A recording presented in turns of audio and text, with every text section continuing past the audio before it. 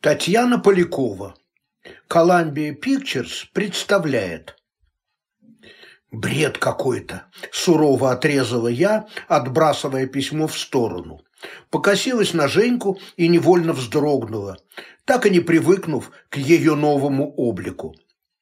Надо сказать, подружка неустанно экспериментировала, являя себя миру то блондинкой, то брюнеткой, то рыжей, иногда предпочитая что-нибудь и вовсе экзотическое. Шевелюра вдруг становилась интенсивно оранжевой или кислотно-зеленой. Меня неизменно удивляли два факта. Первый Какого бы дикого цвета ни были ее волосы, Женька чувствовала себя уверенно и вполне комфортно.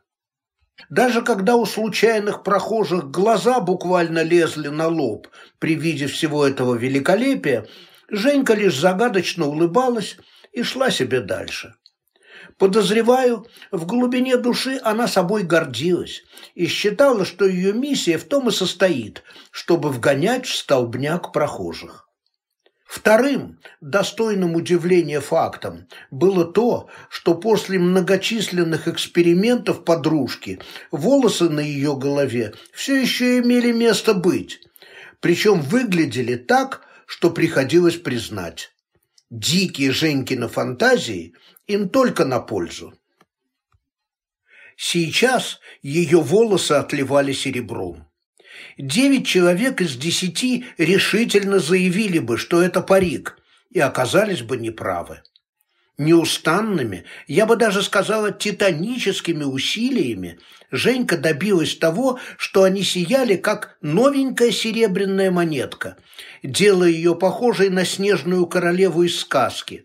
Однако целостного образа не получилось.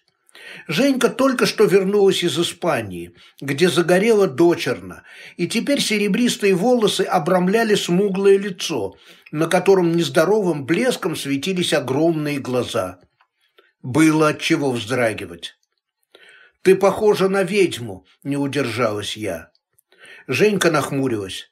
«Надеюсь, это комплимент?» «Вот уж не знаю». «Странно», – хихикнула Женька. «Обычно ты все знаешь». Я-то думала, это ты у нас обладательница столь замечательного качества, съязвила я и тут же устыдилась. С Женькой мы дружили с детства, и, несмотря на редкие поползновения с обеих сторон, так и не смогли ни разу всерьез поссориться. Вот и сейчас Женька пожала плечами и заметила. Мы отвлеклись, после чего передвинула письмо ближе ко мне. Я поморщилась и повторила. Полный бред. А по-моему, на него стоит обратить внимание. В конце концов, человек просит тебя о помощи, и ты... «Ничего она не просит», – вздохнула я, вновь пробегая глазами строчки письма и жалея, что начала разбирать почту в присутствии подружки. Вообще-то, встречаться с ней сегодня я вовсе не собиралась. Два часа назад я вернулась из Москвы и намеревалась посвятить остаток дня уборке квартиры. Заехала в супермаркет и на стоянке едва не столкнулась с Женькой, точнее, с ее машиной. Подружка не сразу заметила мою Ауди, потому что была очень занята истошно сигналила, орала в окно обалдевшему парковщику, что он редкий придурок, и показывала средний палец правой руки парню на иномарке, который не спешил ее пропустить.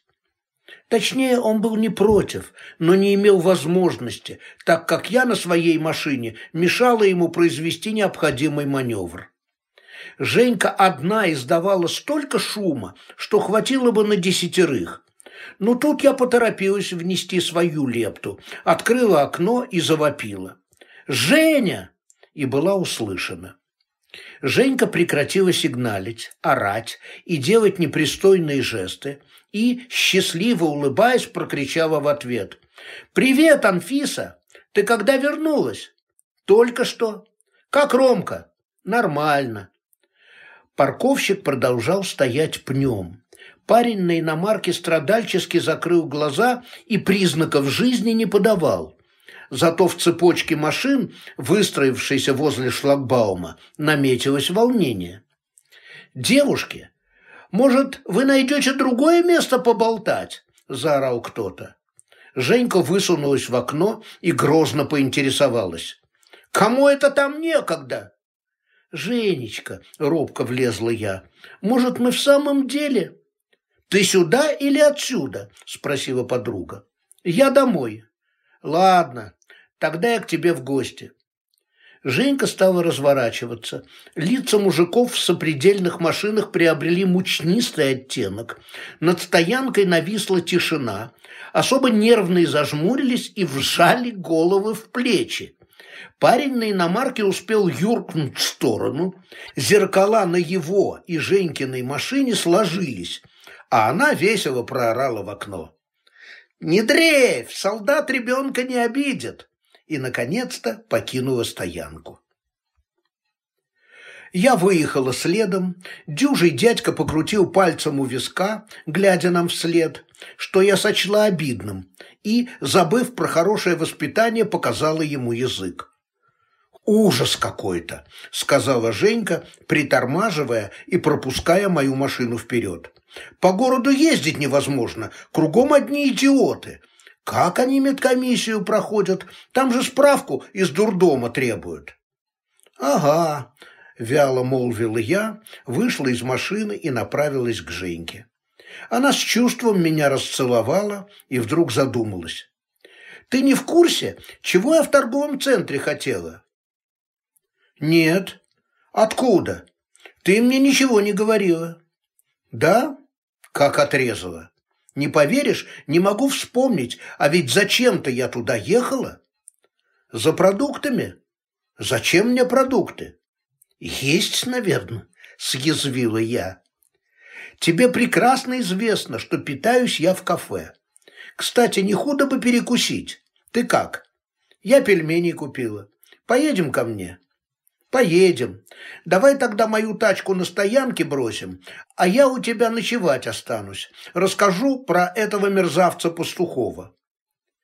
В другое время я бы попыталась избавить Женьку от мысли ночевать у меня, и уж тем более от необходимости рассказывать о мерзавце Пастухове. О нем я слышала постоянно вот уже два месяца, с тех самых пор, как он стал Женькиным шефом и по совместительству любовником.